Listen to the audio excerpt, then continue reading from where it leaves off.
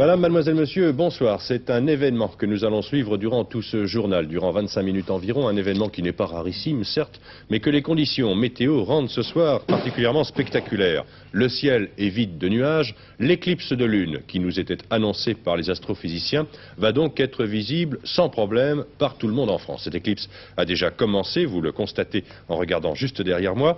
Philippe Dumez, vous êtes à Meudon, alors quel sera l'horaire exact de cette éclipse qui sera pour nous un peu comme un fil rouge tout au long de ce journal La Lune s'est levée à 19h56 aujourd'hui. Malheureusement, on ne la voit pas très bien encore à cause de la brume. L'éclipse totale aura lieu de 20h25 à 20h44 précisément pour se terminer aux alentours de 23h47. Si vous la voyez un peu rougeâtre, rouge cuivré, c'est que la pollution de l'air de Paris n'est pas très bonne et je vous expliquerai pourquoi à la fin de ce journal. D'accord, on vous retrouve donc tout au long de ce journal et nous retrouverons notre satellite tout à l'heure. Au Castellet, il tourne depuis maintenant un peu plus de 5 heures, 5 heures et une minute très exactement. Le bol d'or, 42e du nom, regroupe tout ce que la moto compte de fanatiques, aussi bien sur la piste que dans les tribunes. Alors, le point pour cette compétition après 5 heures de ronde. La Yamaha de Grand Prix de Patrick Ponce et Christian Saron occupe, comme cela d'ailleurs était prévu, la première place. Ponce et Saron, qui se relaient au guidon de cette Yamaha toutes les 45 minutes, le temps juste d'un petit plein d'essence, devance, comme prévu également, la Honda des vainqueurs de l'an passé, c'est-à-dire Christian Léon et Jean-Claude de Chemarin. La Suzuki Yoshimura des Américains Pierce et Collet, qui était la grande inconnue de ce bol d'or, est tombée en panne après deux heures seulement de circuit. Elle avait pourtant été pointée à une bonne quatrième place après une heure de course, mais Pierce a dû pousser sa lourde machine sur près de 4 km pour devoir rejoindre son stand. Voilà, à 23h bien sûr, le point aussi sur ce d'or. Au Castellet, en tous les cas, il court maintenant depuis 5 heures et quelques minutes. Le bol d'or, je vous le disais, regroupe tout ce que les fanatiques de la moto comptent. Mais c'est aussi autre chose qu'une simple compétition. C'est surtout le rassemblement de dizaines et de dizaines de milliers de jeunes et de moins jeunes qui viennent de toute l'Europe voir tourner les gros cubes. Alain Doueski les a suivis hier et aujourd'hui. Sur l'autoroute du Soleil, isolé ou par petits groupes, les motards.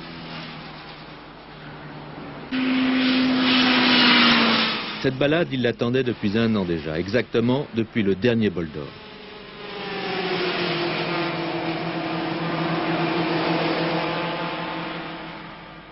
Mais en un an, pour de nombreux motards, il s'est passé beaucoup de choses. Ils ont fait des connaissances, testé de nouveaux équipements et surtout, peut-être, acheté une nouvelle machine, plus puissante. Pour cela, certains ont fait des sacrifices financiers importants.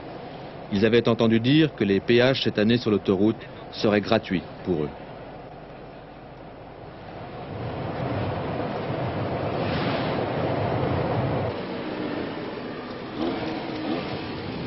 Venez de passer au péage là.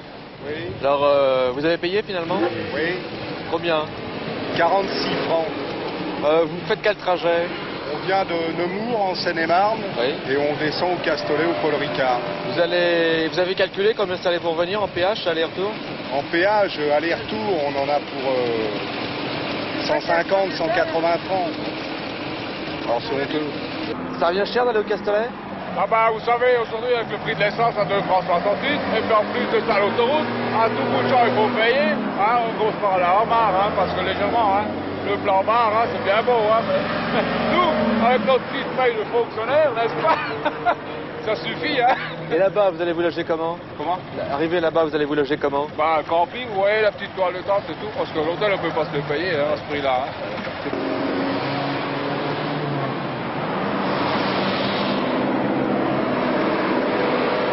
L'esprit motard, ça existe Ah oui, ça existe. Qu'est-ce que c'est, par exemple? Bah, c'est, je sais pas, quand il y en a un qui est en panne, il s'arrête pour l'aider. Ça vous est déjà arrivé? Ouais. Quel genre de panne, par exemple? Comment ça s'est passé? Ouais, tout à l'heure, là, j'étais en panne, j'ai cassé mon câble d'accélérateur. Et il y a un autre motard qui s'est arrêté pour me dépanner. Mais la grogne s'efface vite pour laisser la place au plaisir de piloter.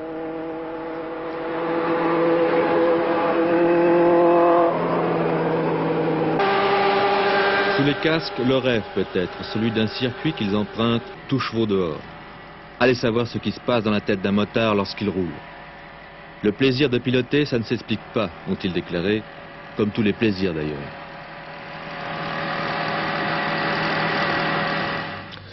Le comité directeur du Parti socialiste s'est réuni aujourd'hui. Arrêtons de nous battre, c'est ce que se sont dit, à huis clos bien sûr, les représentants des différentes tendances qui se sont fait jour au sein du PS ces derniers mois. Arrêtons, a déclaré M. Pierre Mauroy, car nous avons mieux à faire que de nous lancer dans des querelles incompréhensibles pour l'opinion. Le Parti socialiste a d'ailleurs décidé de concrétiser sur le terrain son opposition à la politique du gouvernement. Une motion de censure sera déposée la semaine prochaine. Claude Estier vient de nous l'annoncer. Le comité directeur, dans une résolution adoptée à l'unanimité, dénonce une fois de plus les échecs de la politique du gouvernement en matière de chômage, en matière d'inflation.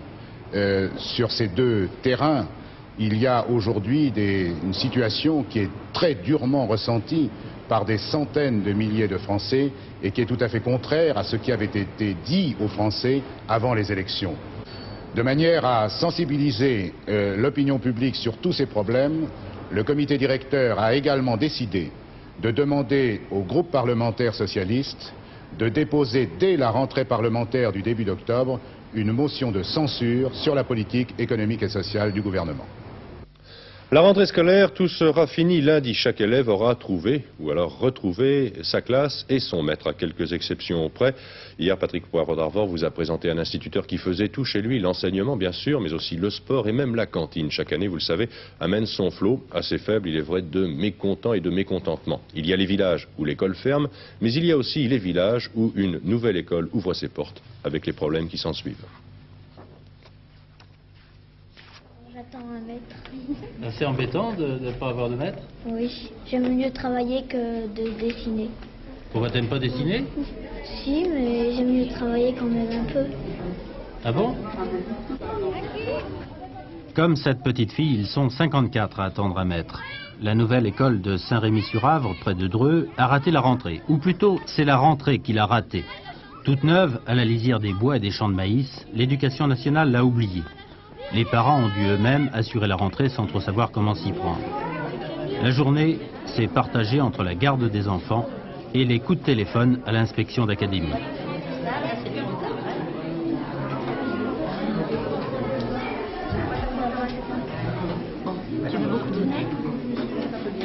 Avoir des locaux, faire tout ce qui est possible pour avoir des locaux corrects et, en fin de compte ne pas avoir de maîtres. Avoir des maîtres au chômage et des maîtres à qui on ne donne pas de travail et des enfants sans maître. Et qu'on laisse les parents sont obligés de se débrouiller pour la maison, pour tout. Ah non, sont honteux. Ah oui, vous avez acheté des cahiers puis ils servent à rien. Bah oui. c'est vrai. Et les parents venir faire l'école, c'est bien joli, mais enfin la plupart Ça ne fait pas le travail, hein, les mères de famille qui viennent, qui se, dé... qui se débrouillent pour les gens qui le méritent. Il y a un instituteur actuellement qui habite Saint-Rémy-sur-Ave et qui est au chômage. Et on nous dit qu'il n'y a pas d'instituteur pour Saint-Rémy-sur-Ave. Il était ce matin à la réunion. La municipalité a sans doute réussi à faire une prouesse considérable en construisant ce groupe scolaire en moins de trois mois, avec un mois de vacances au mois d'août, que l'administration de ce côté a été peut-être surprise de notre rapidité, mais euh, il s'avère qu'il est nécessaire que dans les jours qui viennent, ce douzième poste nous soit acquis. Il faudrait qu'elle soit aussi rapide que vous pour euh, fournir les professeurs. Disons qu'une municipalité est peut-être plus facile à manier qu'une administration. Saint-Rémy est un vieux village agricole qui a pris un coup de jeunesse en entrant dans l'orbite résidentielle de la ville de Dreux, si bien que l'ancienne école, où la rentrée s'est effectuée normalement, était devenue insuffisante pour accueillir tous les enfants des quartiers neufs. À la rigueur, et avec retard, l'éducation nationale veut bien ouvrir une classe de primaire dans la deuxième école toute neuve, mais pas plus. On n'a aucune promesse, Ah aucune promesse. Un peut-être, Aucune mais promesse. le deuxième poste est refusé, alors que Parce vous avez que- quand même plus de 50 enfants. Hein. Parce qu'il se fie au nombre d'inscrits actuellement, et soi-disant qu'il nous manque 6 enfants pour avoir un poste supplémentaire. Mais seulement tous les logements qu'il y a eu de construits, et euh, euh, actuellement il doit y avoir, je crois, 24 couples qui doivent arriver euh, incessamment, que nous attendons évidemment, il y a des enfants, Eh bien, où est-ce qu'on les mettra? Les maîtres existent, il y aura même dans cette école un maître de plus euh, dès lundi, et je pense qu'avec cette situation, on devrait avoir, on, on a une situation normale. Ah bon, tout, pour vous, tout est normal Ben, S'il n'est pas normal que, les parents euh, soient dans, une euh, école de cette façon le, jour de la rentrée, mais du point de vue de, l'organisation générale, euh, actuellement, oui, si la situation des, effectifs, encore une fois, devait augmenter, eh bien, on prendra toutes les mesures qui sont nécessaires. Alors, en attendant le premier maître qui doit venir et le second qui apparemment ne viendra pas tout de suite, les parents font la classe, sans comprendre la logique qui veut que dans le même village, on trouve à la fois une école sans maître et un maître sans école. L'éclipse de lune continue sur la France, alors je vous propose, si Jean-Luc Léridon, notre réalisateur, en est d'accord, de voir un peu où en est notre satellite. Ah. Ben, notre satellite, on le voit à peine au-dessus de, Meudon. Euh, il commence à apparaître légèrement rougeâtre, comme je vous le disais tout à l'heure. On ne voit plus qu'un léger croissant et dans un quart d'heure à peine, on ne verra pratiquement plus rien. Merci. Unanimité dans la presse ouest-allemande. Le sommet Giscard-Schmidt qui s'est terminé hier est un succès. La Frankfurter Allgemeine Zeitung, un journal qui représente les milieux d'affaires ouest-allemands, parle même de rencontres historiques. C'est essentiellement l'aspect économique des conversations franco-allemandes qui suscite les principaux commentaires. Reste à savoir si les autres partenaires européens de la France et d'Allemagne rejoindront ces deux pays. C'est ce que se demandent en tout cas nos confrères d'outre-Rhin. À Camp David, Israéliens, Égyptiens et Américains continuent de débattre du sort du Proche-Orient. La conférence dure un peu plus longtemps que prévu, mais il semble maintenant que l'on soit assez proche de sa fin. le gong pour le dernier round du sommet de Camp David vient de sonner. Si Mohamed Ali a gagné hier son pari en remportant pour la troisième fois le titre mondial des poids lourds, l'Amérique se demande si Carter va remporter le match de Camp David. Encore à 36 heures de la fin des entretiens, des points de désaccord importants subsistent. Le porte-parole de la Maison-Blanche, pour la première fois, n'a pas caché qu'il ne pouvait pas dire si ce sommet se terminerait par un succès. Le suspense persiste et prend même une tournure dramatique. Voici maintenant 12 jours que les responsables de trois États sont enfermés dans ce camp militaire, entourés de barbelés, sans jamais sortir à discuter nuit et jour pour arracher un compromis et déboucher sur un accord de paix. C'est exceptionnel. 12 jours où la puissance américaine a pesé de tout son poids. Incroyable aussi, personne ne sait véritablement ce qui va se passer pendant ces dernières heures à Camp David. Quels sont les points réels de désaccord? Les seules informations relèvent de la petite histoire. On sait que Carter fait du vélo, que Begin a vu un film, Le radeau de la Méduse, et que Sadat fait de longues promenades de méditation dans les bois. Mais sur le fond, c'est le blackout. L'échec serait une catastrophe pour tous, et d'abord pour Carter, dont l'indice de popularité vient pourtant de remonter 12%. C'est donc ce soir plutôt le pessimisme.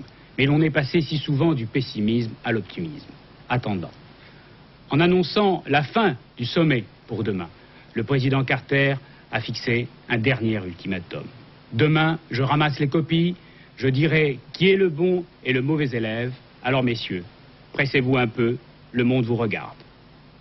Prélude à cette fin de la conférence de Camp David, l'armée israélienne a été mise aujourd'hui en état d'alerte maximum dans le nord du pays. D'importants mouvements de troupes ont été constatés sur les hauteurs du Golan. Et puis par ailleurs, le Canada a décidé de se retirer de la finule. Les casques bleus canadiens installés au Liban quitteront ce pays dès le 1er octobre.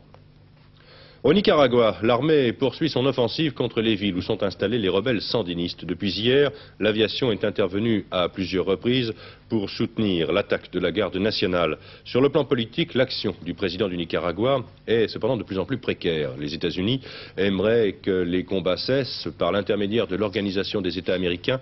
Ils tentent en ce moment d'intervenir comme médiateurs au Nicaragua. On les appelle les muchachos, les enfants. Ce sont eux qui, encadrés par leurs aînés, font aujourd'hui la révolution contre Somoza. Nous n'avons rien. La seule chose qui nous reste, c'est de lutter pour une patrie libre.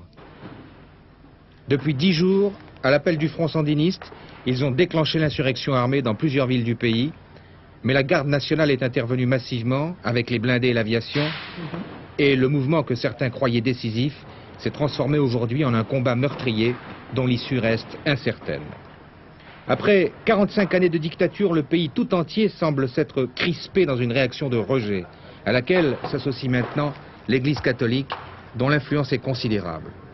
Adversaire de Somoza, l'archevêque de Managua, réfugié au Costa Rica, décrit ce que pourrait être la meilleure solution pour son pays.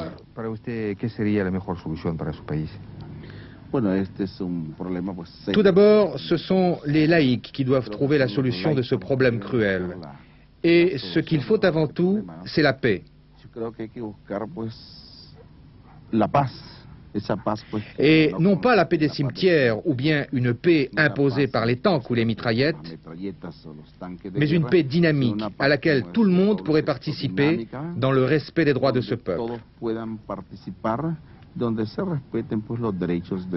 Mais cette paix sera d'autant plus difficile qu'il y a eu violence des deux côtés et que déjà beaucoup de sang a coulé.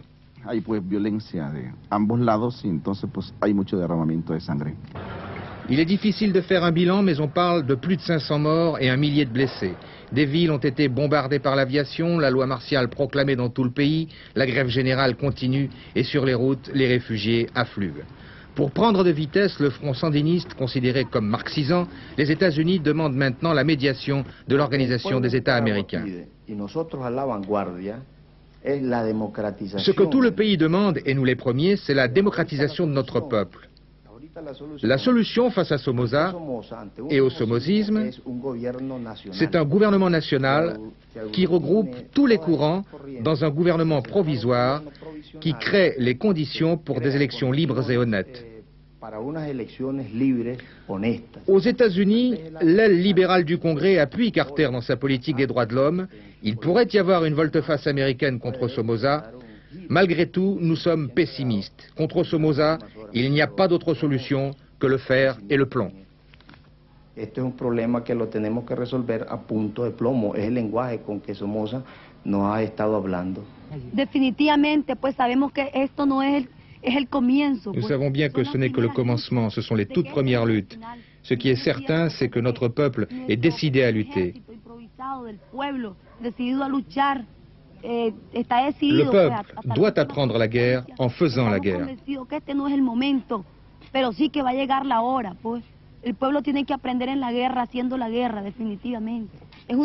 C'est une guerre populaire prolongée. Et pendant ce temps, enfermé dans son bunker à Managua, Somoza joue sa dernière carte, il attend la victoire, une victoire qui tarde à venir. Le président Somoza du Nicaragua, un homme qui a fait son apparition depuis assez peu de temps à la une de vos journaux. Pourtant, Jean-François Kahn, cet homme représente le maillon actuel d'une véritable dynastie en Amérique du Sud. C'est une des dictatures les plus étranges qui existent. Elle est unique dans son genre. D'abord parce qu'elle est héréditaire. Hein. La dictature dans ce pays, depuis 40 ans, se repasse de père en fils. Mais en plus parce que là, dans ce pays, le dictateur ne se contente pas de dominer le pays, il le possède. Il le possède, et, ça remonte assez loin, le, père du Somoza actuel déjà, euh, qui était au pouvoir pendant la guerre, dans les années 43-44, euh, il a déclaré, sous pression américaine, il a déclaré la guerre à l'Allemagne nazie. Ce n'est pas un grand risque hein, pour le Nicaragua. Mais il en a profité pour saisir, confisquer toutes les terres qui appartenaient aux Allemands dans le pays. Et il les a gardées pour lui. Ils les ont encore, les, les Somoza, ces terres-là. Un autre exemple, vous savez qu'il y a eu un, terrible tremblement de terre au Nicaragua, avec des dizaines de milliers de morts, et le monde entier a, donné des, biens, a, donné des dons. Eh bien, euh, les sans-abri n'ont rien vu. On a par exemple donné des vélums, vous savez, des, sortes, comment dire, des, bâches euh, pour, euh, pour, abriter, les, sans-abri. les sans-abri n'ont absolument rien vu, mais en revanche, vous pouvez les retrouver, ces vélums, aujourd'hui, dans certaines maisons de campagne, des Somoza, ça sert pour les cocktails, par exemple, vous voyez? Alors le résultat, alors le résultat est terrifiant. Euh, le monopole du tabac, c'est à Samosa. celui des allumettes à Samosa. Il n'y a qu'une seule brasserie.